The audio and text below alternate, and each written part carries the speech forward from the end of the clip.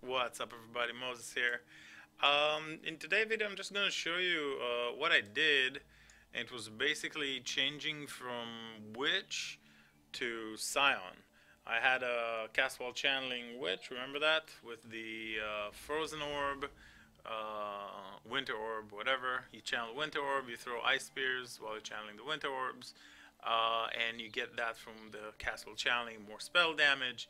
The staff that we talked about, uh, and all that kind of setup, Cast while channeling, which still the same exact setup. Uh, we got our Mark of the Shaper, Warlord's Mark uh, ring over here, the negative cold reds helmet, the you know the boots with the pen, the uh, uh, multiple uh, you know the multi-modded gloves, everything that we used except we are Scion now.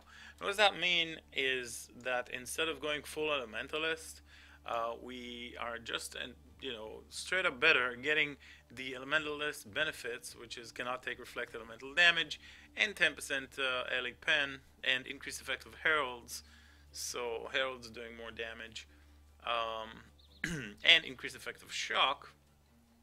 But uh, we're also getting the benefit of being raider, and also uh, getting the movement speed, uh, small chance to dodge, uh, additional onslaught while on full frenzy charges, and chance to gain frenzy charges. So we are on permanent onslaught plus permanent maximum frenzy charge uh, when fighting against bosses, which is the big deal because this is an Uber Elder farmer.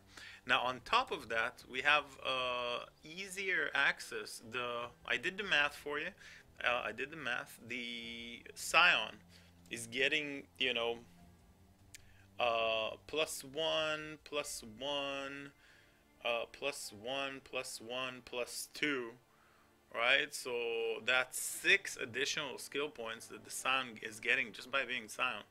And with these six additional skill points, you can get into, you get much easier access, obviously, to Constitution, which is the biggest life node uh, in the video game and you get uh, easy access to a natural instinct placement over here that gives us all the you know spell damage uh, cast speed which is very good for our build. 9% cast speed there 4% and 4% uh, so 8% life over here.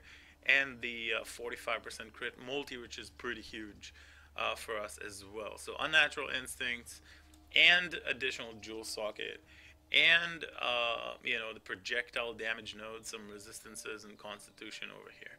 So overall, I believe that this is a way better, way like just straight up more efficient way of playing this build, and I decided to go for it, and uh, I'm enjoying it very much. So this is just a small little update why Scion is just better for these type of builds. You know, you can always choose whatever ascendancy you want. It doesn't have to be Raider. You can go Pathfinder for flask efficiency.